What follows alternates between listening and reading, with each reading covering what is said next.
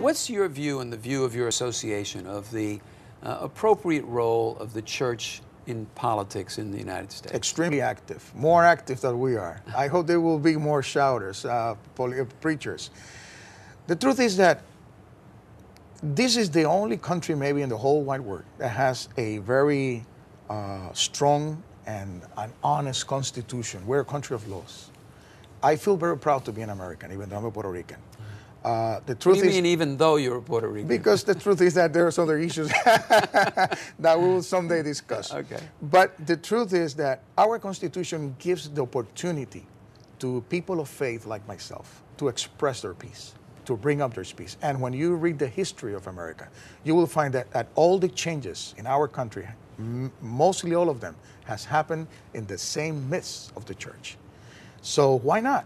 Why not having preachers talking and, and engaging and, and empowering the community to be more active? Do you see then the role to be closer to, for example, what the African American clergy and Definitely. churches have been to the African American community? They, they, have, they have been our best example. We are very proud of our fellow African American preachers and Dr. Martin Luther King and, and many others who have truly done their best. And as Latinos, by the way, that's my call to the, to the pastors. We cannot let our African American uh, brothers and brethren or Anglo brethren do everything for us. We should also step up and, and put ourselves to work.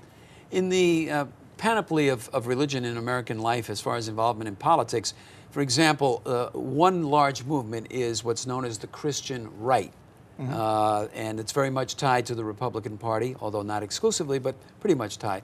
Uh, do you see the role of your uh, involvement in politics coming from that direction? Uh, because many many Latinos are socially conservative. That's mm -hmm. been mm-hmm. shown repeatedly, exactly. and That's culturally true. conservative. Mm -hmm. uh, do you see that the fundamentalist, the, the, most fundamentalists of the Protestant variety mm -hmm. are to the right?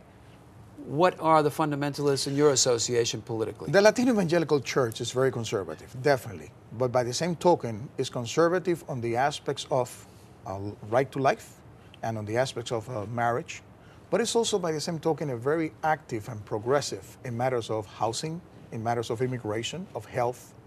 Uh, I, some of, of, some of my uh, friends in DC were very surprised when they asked me, what's the position of the National Coalition of Latino Clergy with the public option uh, regarding health reform?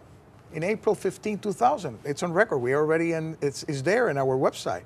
We, in our first convention, decided that it was the right of every American worker to be or to have health uh, care, uh, either supplied or, or purchased by the government or, or by the by the uh, by the business owner, by the patron, mm-hmm. or by the government. Mm-hmm. So that was our position back in 2000.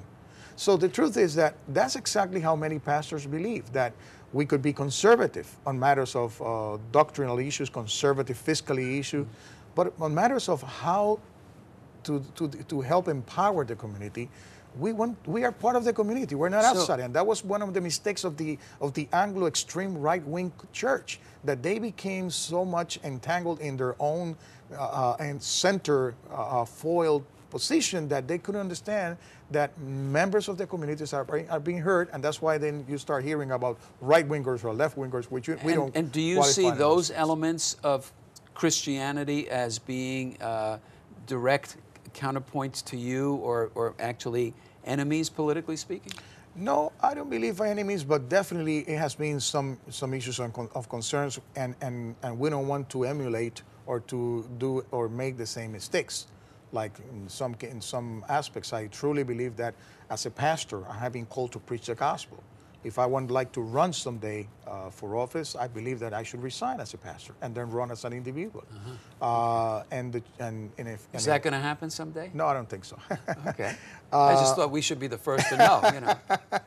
but, but on the other hand, uh, the truth is that the church is there uh, to help the community to understand political empowerment, to understand platforms of every candidate. And, and yes, why not having the pastor es- express what they believe or members of the church express what they believe, have public open forums inside the church, which was exactly how this nation was formed. Mm-hmm. But on the other hand, yes, when we start uh, avoiding the, the, cons- the, cons- the concept of the church is an intrinsical part of the community, and we just step outside of the community and we get ourselves in the position of no, we're just like the scolders or the or the uh, old you know the old right winger preachers, then definitely there's going to be enemies and adversaries, and the National Coalition of Latino Clergy has been stayed away from from that position.